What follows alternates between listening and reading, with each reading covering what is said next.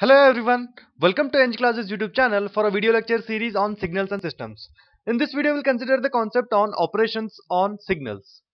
The task is, uh, this is the given signal, I would call it as uh, y of t which is being expressed with respect to t which is a triangular uh, signal. The task is to sketch y of t minus 3, y of minus t, y of minus t plus 3 and uh, lastly y of 2t plus 4. The task is to sketch this signal the basic operations involved in these uh, signals are there is a time shift, there is a reflection and there is the scaling factor as well. So I need to consider all them and I need to sketch uh, all the signals. Before I actually start sketching on these signals, I would recommend everyone to subscribe to our channel EnggClasses uh, and uh, press the notification bell for uh, more interesting videos. Yes, uh, we'll consider sketching those signals let me uh, first uh, get uh, x-axis and y-axis. I'll just get this signal. Yes. So now I'll consider sketching the very first signal. I would call it as y of t minus 3 I'll consider this. So let y-axis be y of t minus 3 with respect to t. So whenever I consider the operations uh, whether it is time shift time scale reflection as per the precedence rule I have to consider these operations.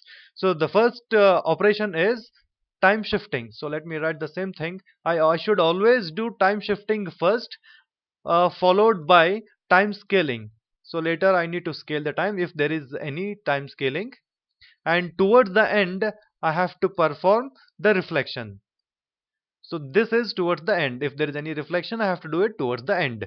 So if I consider the signal y of t minus 3 what are all the different operations? There is only a time shift. So any signal need to be always compared with y of a t minus b. So this i call i would call this as the standard signal where a is the scaling factor and b is the shift. So if i compare this with that i get the shift b equal to 3 and if b is greater than 0 i need to shift the signal to the right by that much of unit.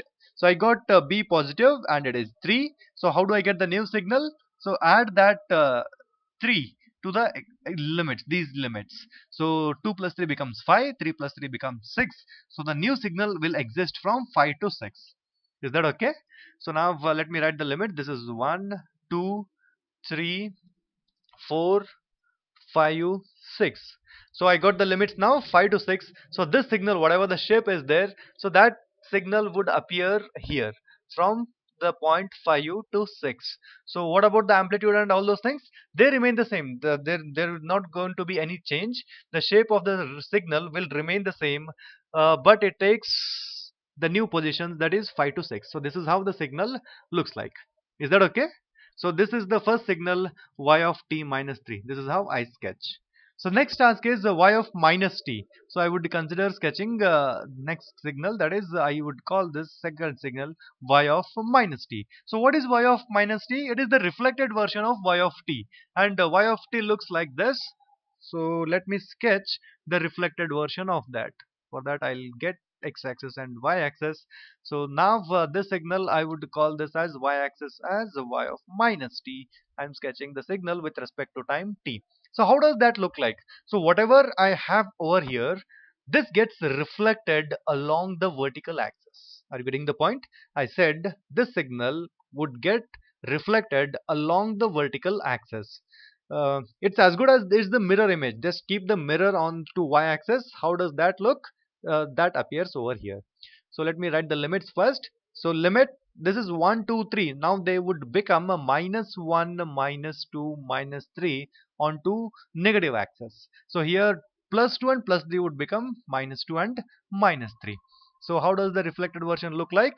So here uh, this is how the reflected version of the signal looks like amplitude uh, will remain the same. This will be 2 this will be 1 so this is y of minus t. This is how the second signal y of minus t looks like. I hope uh, you have understood. Uh, moving on further the next task is to sketch y of minus t plus 3 so let me write that y of minus t plus 3 so first i'll get that x-axis and y-axis. And now I would call this signal this is with respect to t. So first try to understand what are the different operations involved y of minus t plus 3 this 3 is represented with respect to the shift and this minus t is that says it is a reflection. So there are two operations involved while sketching y of minus t plus 3 uh, that is first shift and then uh, reflection as per the precedence rule. So if I compare this with y of at minus b so b I would get it as minus 3 are you, are you getting this point it is not uh, b equal to not just 3 it is minus 3 because y of at minus b. So compare b I would get it as minus 3 in the sense I have to shift the signal to the left. So this is minus 1 minus 2 minus 3 here also it is 1 2 3 and so on. Sorry this is 2 this is 3 and so on. So what are the new limits to get the new limits? Uh, I'll consider the original signal. Yes here is the original signal which exists from 2 to 3 to this I would add the limits that is minus 3 as the shift is minus 3 I would add the these uh, these things minus 3 to these limits 2 and 3 so what I'm going to get? 2 minus 3 is minus 1 3 minus 3 is 0 so minus 1 to 0 are going to be the new limits. Are you okay with this? I said minus 1 to 0 that is where the signal exists and that signal will be y of t plus 3 the shifted version. Later I will take the reflected version. Is that okay? So this is how the signal uh, looks like. The shape of the signal is going to remain same. Yes. This is how uh, the signal finally looks like. So this uh, I call it as y of t plus 3 uh, I'm not done yet done with the operation. I have to consider y of minus t plus 3 I have to draw the reflected version of the same. Uh, let me again consider x-axis and y-axis this I call it as uh, minus 1 0 1 2 this will be minus 2 the time axis. This is t. So this signal I would call it as y of minus t plus 3 I said it is the reflected version. So now just take uh, the mirror image along the vertical axis. Fold the signal along the vertical axis. So if I do that, uh, I'm going to get the reflected version. So anyone can draw that, the reflected uh, version. Yes. This is how it finally looks like. So this is going to be the amplitude will remain same. This is 2, this is 1. So this is the final signal y of minus t plus 3. Are you okay with this? So moving on further, I'll consider the last signal to be sketched. That is y of 2t plus 4. So let me write that first. So this signal I would call this as y of 2t plus 4. So let me get that x-axis and y-axis. Yes. So this is with respect to t. So I cannot sketch y of 2t plus 4 in the in the in just one go. So I have to sketch y of t plus 4 first uh, let me write the limits. 1 2 3 this will be minus 1 minus 2 minus 3 uh, yes compare this with the standard signal y of at minus b. So what is b now? So if I compare b is going to be minus 4 the shifting is minus 4 so first I have to shift it by minus 4 so where will the new signal uh, occupy its space? So add minus 4 here minus 4 here. If I do that I'm going to get this is minus 2 and this is going to be minus 1 are you okay with this? 2 minus 4 is minus 2. 3 minus 4 is minus 1. So the new limits will be minus 2 to minus 1. That is where the signal is going to exist. So let me sketch that. That is from uh, minus, I said uh, minus 2. Yes.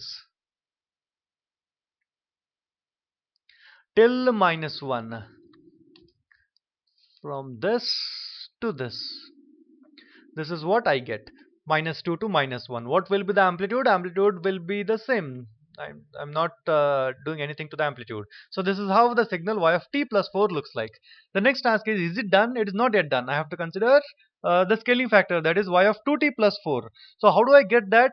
So just sketch x-axis and y-axis so now I would call this signal as y of 2t plus 4 the scaled version of that. So what is that signal? This is again with respect to t. So here I have 0 minus 1 minus 2 minus 3 now what is uh, uh, the scaling factor? So compare this with the standard signal y of at minus b. A is going to be 2 so what what I have to do now? The amplitude gets divided by 2 that's what it is. If a is greater than 0 uh, uh, divide that signal uh, by the number amplitude 2 would become now it gets divided by 2 it becomes 1 and 1 would become uh, 0.5 are you getting with this? Is that okay? So now uh, shape of the signal it gets it is going to shrink now. So this is how the final signal uh, looks like. So with the amplitude I said uh, it got reduced by 2 so initially it was 2 now it is 1 here it is 1 it becomes 0.5 so this is how the final signal y of 2t plus 4 looks like Yes, with that is the end of this numerical. I hope everyone has understood this numerical. If there are any doubts, please let me know them onto the comment section and I will definitely answer those uh, doubts. Meanwhile, subscribe to our channel EnggClasses for more videos on signals and systems. Thank you everyone for watching.